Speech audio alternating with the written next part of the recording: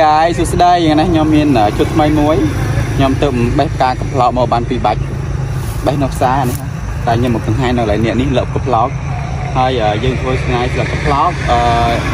បង្ហាញឲ្យអ្នកនរគ្នាឃើញអាហ្នឹងការកំប្លោកយកទៅអីទៅអីខ្លះហើយឥឡូវយើងយកទៅឆ្នៃធ្វើជាម៉ូកាវចាំមើលអស់គ្នាថាម៉ូកាវហ្នឹងចេញជារូបរាងយ៉ាងណាមើលតាមចាំតាមដានទស្សនាវីដេអូរបស់ខ្ញុំបងប្អូនណា Let's go សូមស្វាគមន៍កញ្ញាកំប្លោកចេញពីបឹងផលិត ចេញពីបឹងឈូកដែលមានដោះលេខជាមួយនឹងកំប្លោកផ្លោកផ្លោកធំ កញ្ញាដើមម៉ូតបែបស្រកស្រែលហិចលហាយដារោបែលហងនៅកណ្ដាលវាលលហលហៅ បាននិយាយលេងទេនេះណាឥឡូវខ្ញុំនាំអស់គ្នាមកមើលពីរបៀបដែលខ្ញុំច្នៃម៉ូតចេញពីផ្កាកំប្លោក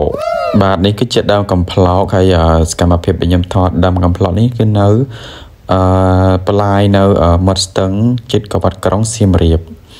ឡូវនេះគឺខ្ញុំបេះវាហើយបេះយកស្លឹកណាល្អល្អណាស្អាតស្អាតមកដើម្បីយកទៅធ្វើជាឈុតលេងអឺឈុតម៉ូតដើម្បីបង្ហាញអ្នកទាំងអស់គ្នាអើយកំភែម កំមុំសំសួនអស់នេះស្គាល់ស្លឹកនេះអានេះហៅថាស្លឹកកំប្លោកដែលអ្នកណាធ្លាប់លេងអត់នេះស្លឹកកំផ្លោកអ្នកណាធ្លាប់លេងអត់កាកាត់ត់ផ្លោកនេះធំម្លេះស្លឹកវានេះអត់ទេអានេះអត់មែន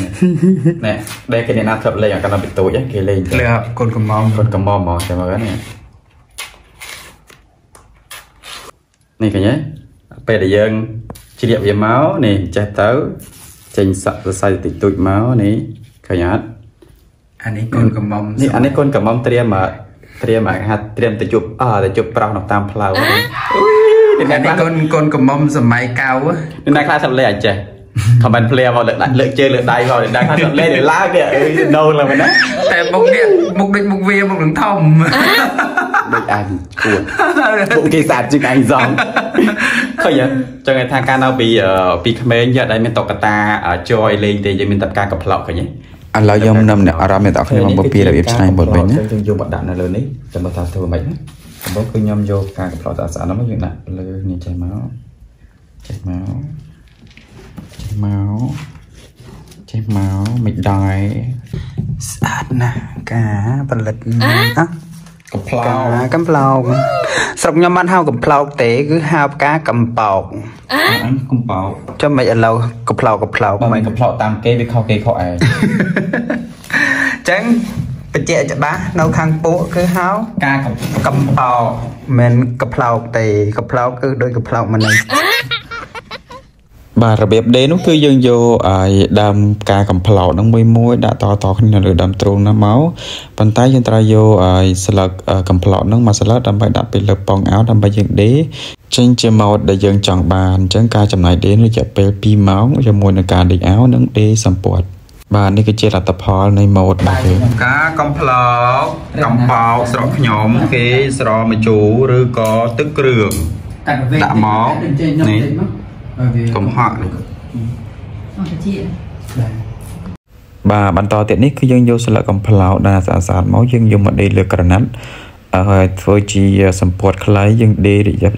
ចំនួនប្រហែលជា3 4ជួរហើយការដេរនឹងដែរយើងរើសយកតែស្លឹកកំប្លោកណាដែលល្អល្អស្អាតស្អាតទេដើម្បីយកមកធ្វើណា បន្ទាប់មកយើងក្រោយពីបានដេរហើយទាំងអាវទាំងសម្ពត់ហើយយើងយកមកស្លៀកខ្ញុំបានទៅស្លៀកថតនៅភ្នំក្រោមអញ្ចឹងមេភេកខ្ញុំក៏បានដេរអាវភ្ជាប់ជាមួយគ្នាហើយនឹងមេភេកម្នាក់ទៀតក៏ជំនួយការជួយថត